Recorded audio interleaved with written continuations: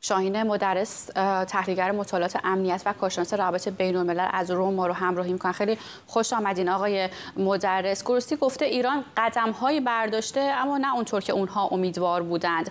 و این قدم ها رو در حقیقت کافی ندونسته. اما ابراز امیدواری کرده که ایران بدون فوت وقت اقدامات تاثیرگذاری انجام بده. خیلی از کارشناسان که پرونده اتمی ایران رو با دقت دنبال می‌کنن معتقدند که ایران داره در حقیقت با این قدم هایی که برمیداره زمان می‌خره برای خود شما چی فکر می‌کنید؟ درود بر شما درود بر مردم شجاع و شریف ایران. اساسا شما برای اینکه بخواید بیایید به یک سلاح هسته‌ای دست پیدا کنید نیاز به سه عنصر دارید. یک اورانیوم غنی شده هست که در حال حاضر میزان ذخیره اورانیوم غنی شده در جمهوری اسلامی چیزی در حدود 23 برابر حد مجاز اعلام شده در توافق موضوع به برجام هست. و جمهوری اسلامی چیزی در حدود 114 کیلوگرم اورانیوم غنی شده 60 درصد در اختیار داره. که این در صورت افزایش خلوص قابلیت این رو داره که بشه دو سلاح هستی ازش تولید کرد. مسئله دومی که به اون نیاز هست یک حامل هست که بتونه این سلاح رو حمل کنه. و شما وقتی که به برنامه های بالستیک جمهوری اسلامی نگاه می‌کنید می‌بینید که در این زمینه تحرکات و فعالیت های متفاوتی رو داشته که اساسا بخش عمده اونها اعلام نشده بوده.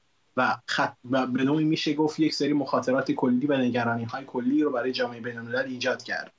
مسئله سوم مسئله کلاهک انفجاری هست.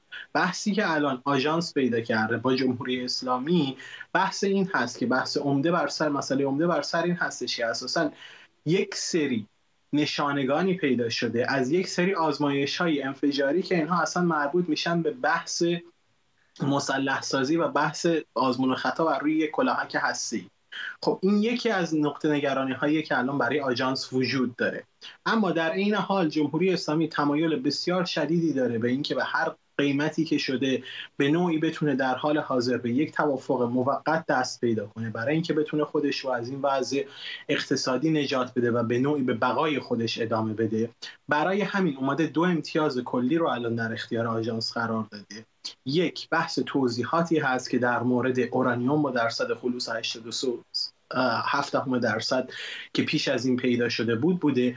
دو اومده به نوعی داره با آژانس اطمینان میده با اجازه بررسی پروسه غنیسازی در نتنز و فوردو که این رو میشه به نوعی به عنوان یک گام موثر از سمت جمهوری اسلامی برای تلطیف روابطش با آژانس بین‌المللی انرژی هسته‌ای بهش نگاه کرد.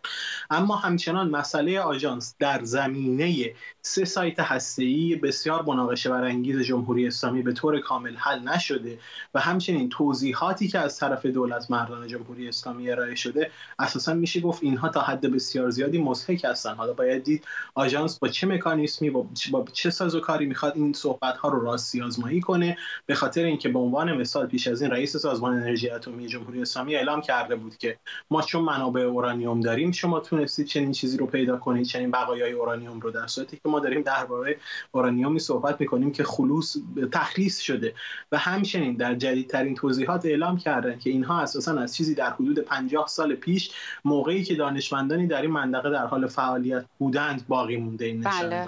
این هم بدور از عقل هست.